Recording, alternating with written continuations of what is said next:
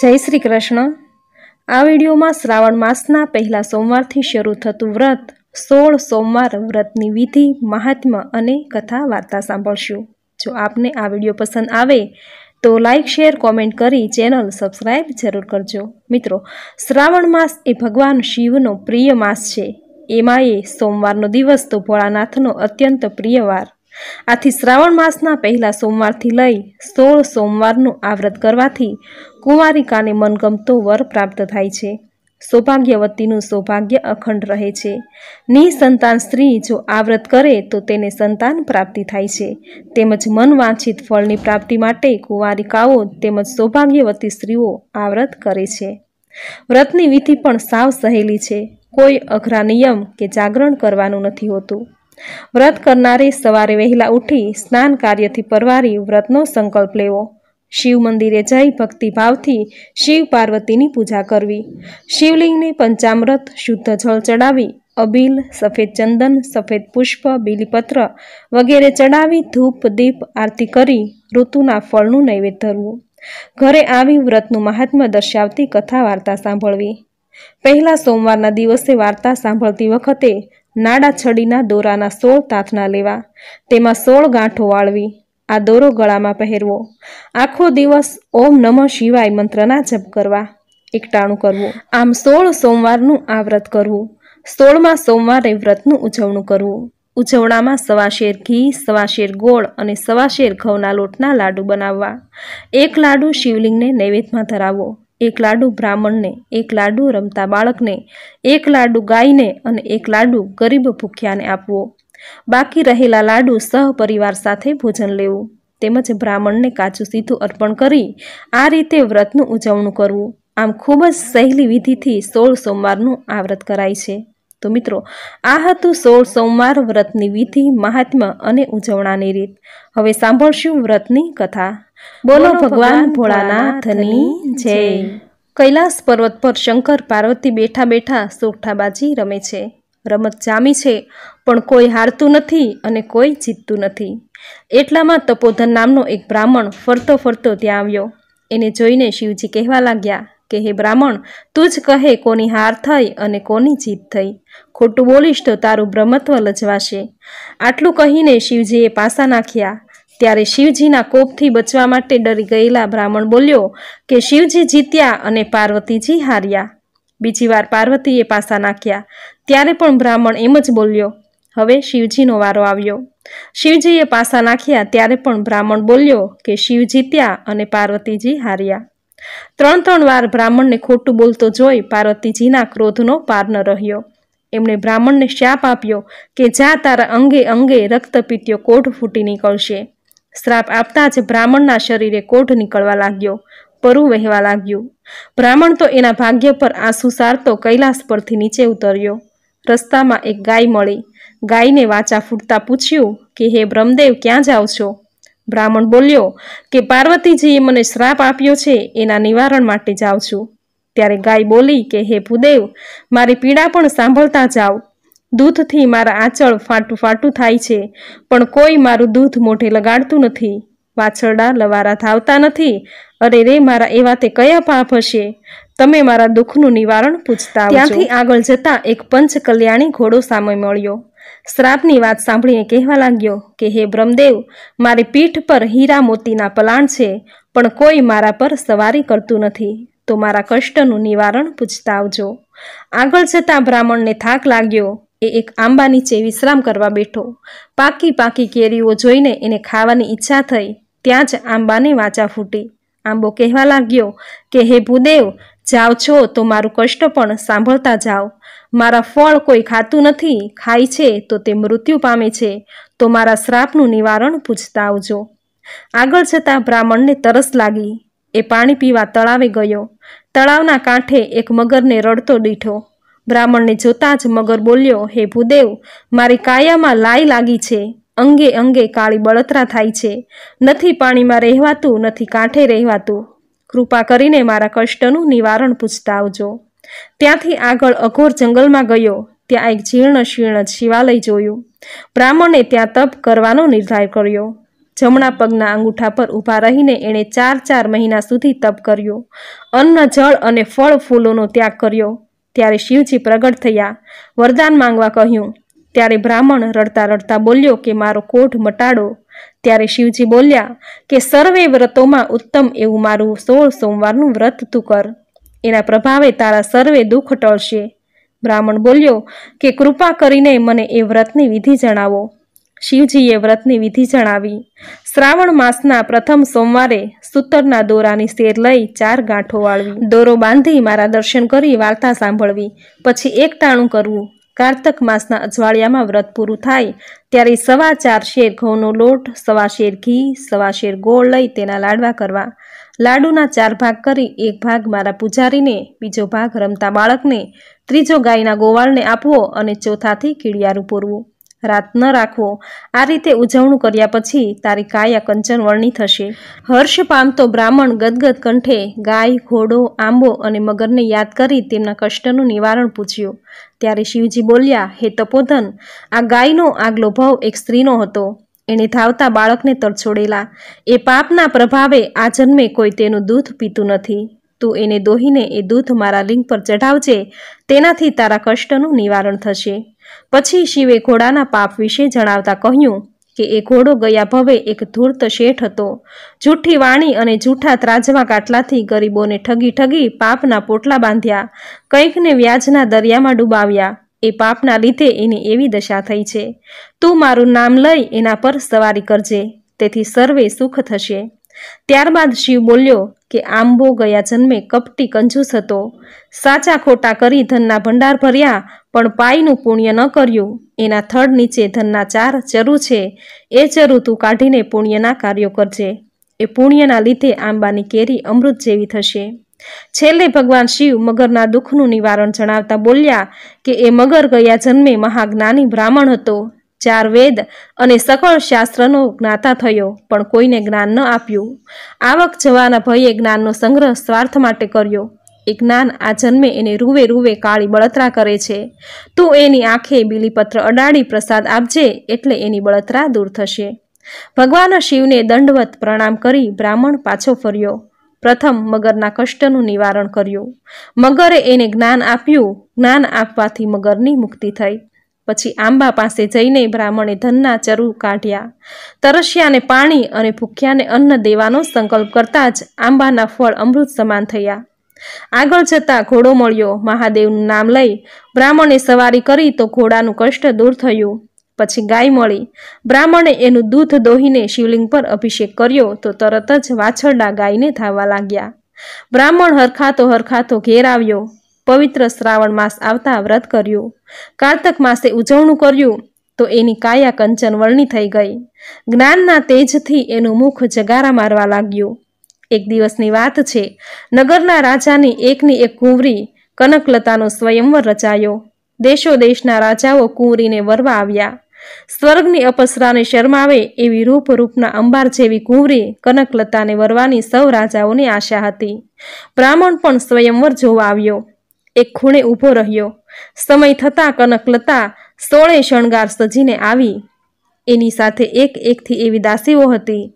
આગળ હાથણી કળશ લઈને ચાલતી હતી. સિંહાસનો પર બિરાજેલા રાજકુંવરો અને રાજાઓ પાસે જઈને હાથણી આગળ ચાલી ખૂણામાં ઊભેલા તપોધન બ્રાહ્મણ પાસે જઈ એના પર કળશ ઢોળ્યો. આ જોઈ રાજાઓ ત્રાળું પાડવા લાગ્યા કે મૂર્ખ હાથણીએ ભૂલ કરી છે. એટલામાં હાથણીને વાચા ફૂટી. એ બધા સાંભળે એવા બુલંદ અવાજે બોલી કે કુંવરી માટે આ વર જ યોગ્ય છે. રાજાએ ધામધૂમથી કુંવરીને તપોધન સાથે પરણાવી. હીરા માણેકની પેરામણી કરી. હાથી ઘોડાના રથ દીધા. બ્રાહ્મણ સમજી ગયો કે કહો ના કહો આ સોળ સોમાલુ રથનો જ પ્રભાવ છે. રૂપાળી કુંવરી સાથે બ્રાહ્મણ તો સુખેથી મહેલમાં રહેવા લાગ્યો. રાજાને કોઈ પુત્ર ન હોવાથી રાજગાદી પણ એને જ મળી. એવામાં પવિત્ર શ્રાવણ માસ આવ્યો. બ્રાહ્મણે નિયમ પ્રમાણે સોળ સોમવારનું વ્રત કર્યું. વ્રત પૂર્ણ એ ઉજવણાની તૈયારી કરી અને રાણી કનકલતાને ઉજવણાની બધી વિધિ વિગતે સમજાવી. રાણીએ વિચાર કર્યો કે એકલા લાડુ તે કંઈ ભાવતા હશે? એણે તો ભાત ભાતના ભોજન બનાવ્યા. રાજાનો વૈભવ ભોગવતો બ્રાહ્મણ દરબારમાંથી આવ્યો અને લાડુના પ્રસાદના બદલે મેવા મીઠાઈ જોઈ કોપાયમાન થયો. ગળગળા અવાજે શિવજીની માફી માંગવા લાગ્યો. ચોથા ભાગનો લાડુ પ્રસાદમાં લઈ વ્રત ઉજવ્યું. આ બાજુ મહાદેવ રાણી કનકલતા પર ક્રોધિત થયા અને સપનામાં તપોધનને આદેશ આપ્યો કે કનકલતાને કાળા વસ્ત્રો પહેરાવી દેશવટો આપ. એણે મારું વ્રત તોડ્યું છે. તપોધને શિવજીની આજ્ઞા પ્રમાણે રાણીને દેશવટો આપ્યો. રાણી આજીજી કરતી રડવા લાગી, પગે પડવા લાગી, પણ તપોધન ચલિત ન થયો. ભૂખી તરસી લથડિયા ખાતી કનકલતા એક ગામમાં આવી અને ગામને પાદરે ઝૂંપડામાં રેટીઓ કાઢતી ડોસી પાસે પાણી માંગ્યું. ડોસી ઘણી દયાળુ હતી. રાણીને ખાવા રોટલો અને પીવા પાણી આપ્યું. રાણીએ રહેવા આશરો માંગ્યો તો ડોશીએ હા પાડી. એ તો ડોશીના ઘરમાં છાણવા સિંદુ કરવા લાગી. પણ રાણીના પગલાં પડતા જ ડોશીનો રેટિયો તૂટી ગયો. ડોશીએ તો રાણીને ધક્કા મારીને કાઢી મૂકી. રડતી કકળતી ભાગ્યનો દોષ આપી રાણી એક ખાચરના ઘેર ગઈ અને અડધા રોટલાના બદલામાં બધું કામ કરવા તૈયાર થઈ. મફતના ભાવે દાસી મળે તો કોણ ના પાડે? ઘાંચણે તો રાણીને રાખી લીધી. ત્યાં તો એનો ધણી માંદો પડ્યો. ઘાણી બંધ થઈ ગઈ. બળદનો પગ ભાંગ્યો. ઘાંચણે તો રાણીને માર મારીને કાઢી મૂકી. પડતી આખડતી રાણીએ એક માલણના બાગમાં પેટ રાણીએ આશરો લીધો તો બાગમાં બધા ફૂલ કરમાઈ ગયા. માલણે પણ રાણીને કાઢી મૂકી. રાણીની આંખે અંધારા આવવા લાગ્યા. ગળે કાંચકી બાજી ગઈ. જીવ નીકળવું નીકળવું થવા લાગ્યો. એ તો પાદરે ગઈ. કૂવે પાણી સિંચતી પણિયારીને પાણી પીવાની આજીજી કરી. એની હાલત જોઈને પાણીયારીને દયા આવી ગઈ. પણ જ્યાં એ પાણી પીવા ગઈ ત્યાં તો એનો ઘોડો ફૂટી ગયો. પાણીયારીએ રાંડ અભાગણી કહીને એને કાઢી મૂકી. રાણીને ખાતરી થઈ ગઈ કે હવે કોઈ એને સંઘરે એમ નથી. એ તો જંગલમાં જઈને દેહ પાડવો. રાણી તો લથડિયા ખાતી કાંટા કાકરાની વેદના સહન કરતી જંગલમાં ગઈ.